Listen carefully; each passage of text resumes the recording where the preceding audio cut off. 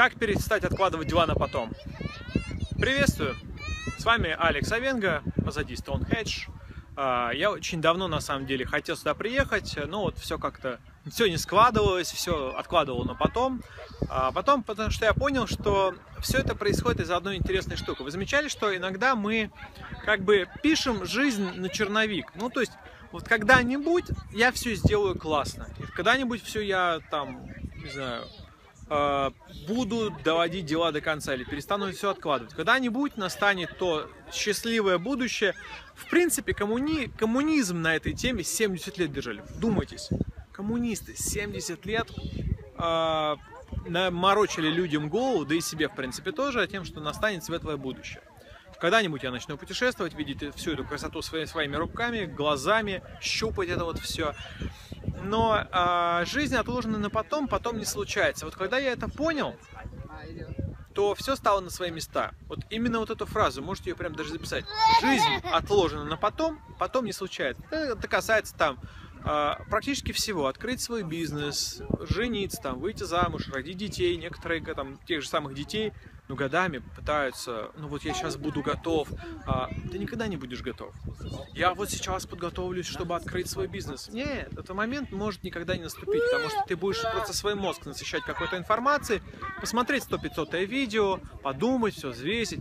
Ну, потому что ты знаешь, что некомфортно. Знаешь, что некомфортно? Вот некомфортно было выпиливать вот эти а, камни, я думаю. А, и, кстати говоря, там есть один очень интересный секрет. Эти камни очень ровно отпилены, а, настолько, что те технологии того времени, они просто не позволяли. Это как бы невозможно. Но как-то это сделали. Иногда нам кажется, что следующий наш уровень это что-то невозможное, что мы не сможем, что не получится, что а, или получится, но не у нас. И мы откладываем. Откладываем, чтобы, опять же, наполнить себя информацией. На самом деле мы заполняем просто неуверенность внутреннюю, тем, что я сейчас еще что-нибудь посмотрю, где-нибудь еще похожу, а, еще подумаю. Но опять же, если ты откладываешь это на потом, потом не случается. я нашел три а, способа конкретно, как это сделать. И сейчас поделюсь. Первое. Я покупаю билет в какую-то другую страну, и дела начинают быстрее сами собой делать. То есть ты их реально перестаешь откладывать, когда у тебя уже есть билет, такой жесткий, естественный дедлайн как там, э, Господь Бог не создал бы землю, если бы не было бы даты релиза и дедлайна. А второй способ, который я использую, который вы можете тоже использовать, и он вам пригодится, когда есть обязательства перед клиентом. Потому что себе очень легко что-то пообещать, а потом передумать. Ну, мы часто, часто именно так и делаем. А, потому что это уже другой уровень воли, когда ты себе пообещал, себе сделал, себе доказал. Это могут, но могут немногие. И именно такие люди достигают большого успеха, кстати говоря. Но когда ты даешь обязательства клиенту, например, когда человек тебе заплатил особенно большую крупную сумму денег, ты уже начинаешь включаться, ты уже понимаешь, что есть определенные санкции за невыполнение, э, это твоя репутация, и что следующего клиента тогда и просто не будет. И ты включаешься. И ты включаешься, особенно если ты вот любишь все напоследок отложить. И это работает. И третье, э, что работает, это наставник. Когда э, ты тоже э, имеешь ответственность перед другим человеком, только с другой стороны. Не ты, э, не тебе заплатили денег, и ты их отрабатываешь, а ты сам заплатил, причем большую, крупную сумму, и ты ее начинаешь отрабатывать. Вот это мотивирует, и ты начинаешь действительно внедрять многие вещи, как угорелый.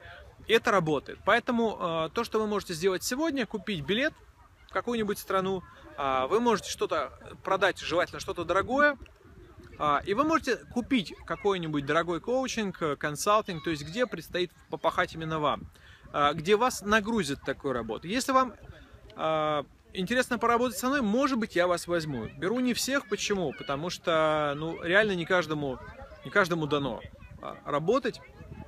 Поэтому есть анкета, поэтому есть собственные секреты.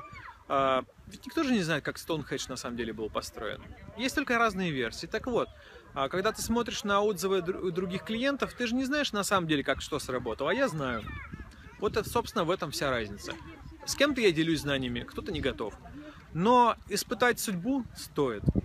Поэтому а, внизу есть заявка, заполняй ее и перестать откладывать на потом. Это достаточно просто, когда знаешь как. Сейчас вы знаете как минимум три способа. С вами Алекс Авенга. Если вам в коучинг круто, много, дорого, а, и все на чистовик, то внизу есть анкета. Если хотите еще что-то посмотреть, есть очень много классных видео, которые вы можете увидеть на этом канале.